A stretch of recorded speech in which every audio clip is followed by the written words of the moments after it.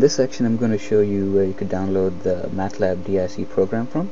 So just go to Google and type in MATLAB DIC.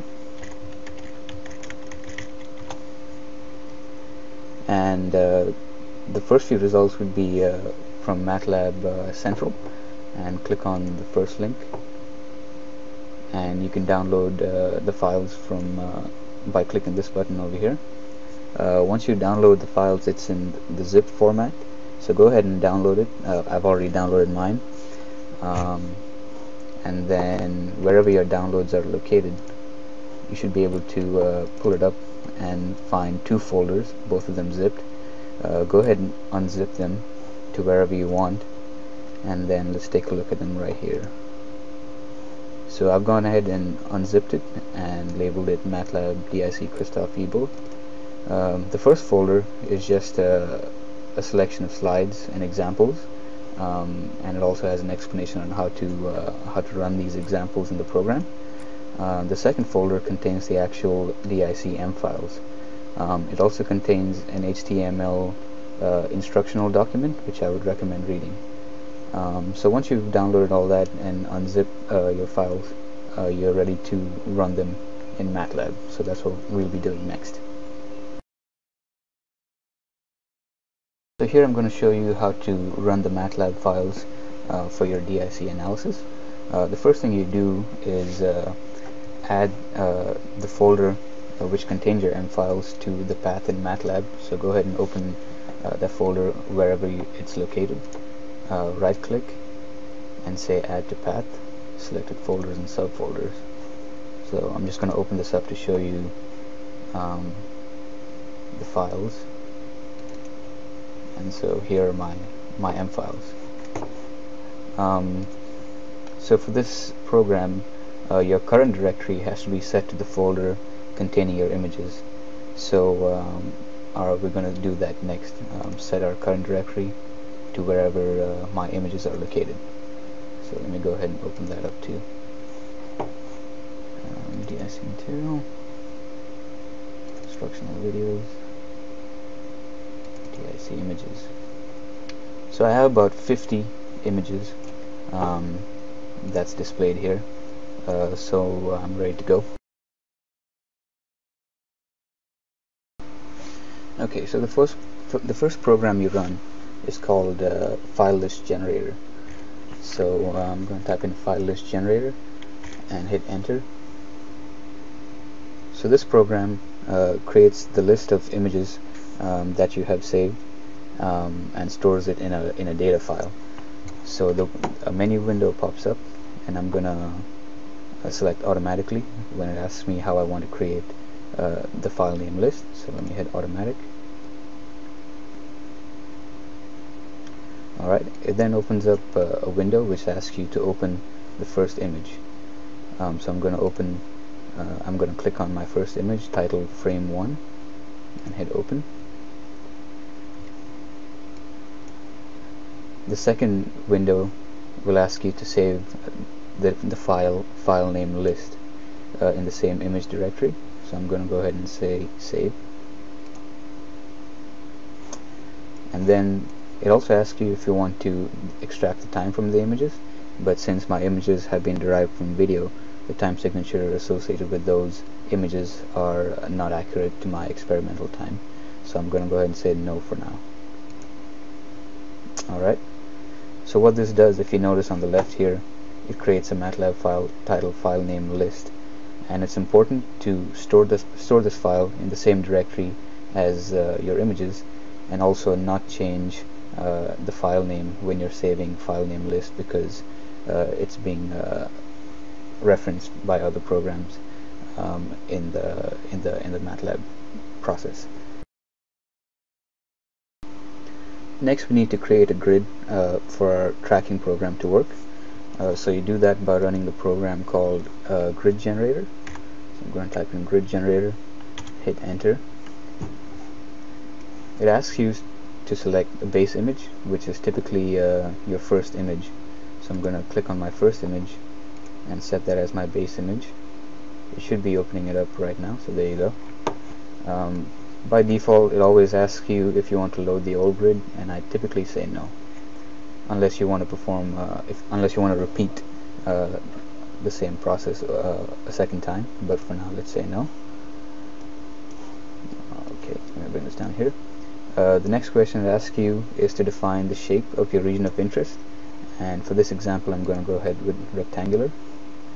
And if I can maximize this window um, it gives you a little instruction on the top of the window. So pretty much you define the diagonal of the of your rectangular region of interest. So I'm going to click down here once and click to the top corner and that's my region of interest. Uh, the next thing it asks you is for your grid resolution. Um, so that means uh, or what that means is you define how far apart each grid marker is going to be so let's see what it gives us when we set it uh, to 50 for X and 50 for Y. So you can see the blue markers. Um, I think these are fairly widely spaced. So I'm gonna go ahead and uh, try and get it uh, try and get a, a finer grid. So I'm, it then asks you over here if you're satisfied with this grid or if you want to use this grid.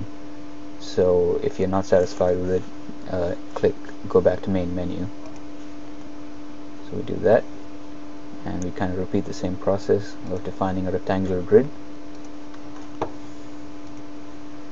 And I'm going to give it a finer resolution uh, 30 by 30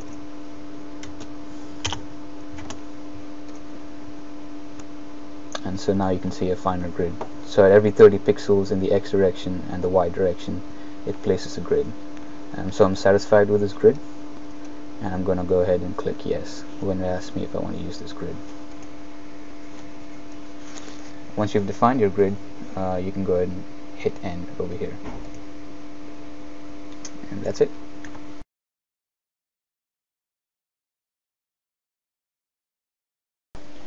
So now we're going to run the program that does the actual correlation task. So what this program does is that it studies each region or each subset uh, in the grid that we defined earlier and tries to locate that region in the subsequent image. So once that region is located, it places a marker there. Um, so it does that for each image. And these marker locations uh, get stored in separate files. Um, and from these files, uh, we get our displacement data. So let's go ahead and do that and let's take a look at what it looks like. So the program is called automate image. So type that in. Automate image, hit enter. Right. So here you can see um, the image is being processed. Uh, you see, you notice two markers, uh, the green and the red. So the green markers are the original location on the base image, and the red markers you'll notice are moving uh, corresponding to each image. Right now we're on image 13, 14, 15 and you notice how the red markers are moving down um, along with uh, along with our sample moving down. So this is what uh, the tracking program does. You'll also notice that the regions that don't have a well-defined speckle aren't well tracked. Um, so there's always room for improvement there. And there is also um, movement uh, of regions that overlap each other.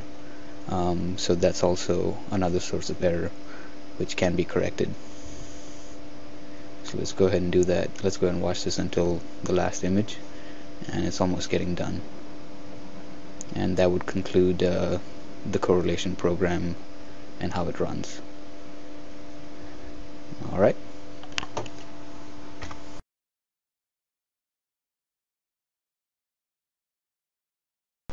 So the, in our concluding step we'll be displaying our displacement data. Um, so what you need to do for that is to type in the program displacement, hit enter. It then asks you to open up a couple of files. So it says open up validx.dat. So click on validx, open that up. Open up valid-y. And then it pulls up a menu which allows you to view your results in a, in a, in a variety of ways. Um, the one I'm going to show you right now is the 3D plot for displacement. Uh, by default, um, the program displays the displacement in the x direction. What I'd like to show you is uh, the displacement in the y direction since I did a bending test. So you can do that by clicking this button called rotate orientation. Um, so let's go and do that. And now let me display uh, my my data. Um, it, it asks you if you want to create a video. For now, I'm going to say no. So there you go. Well, I guess this one is pretty quick. Um, let me go ahead and show that to you again. And I'll say yes to create a video just because it slows down the display a little bit.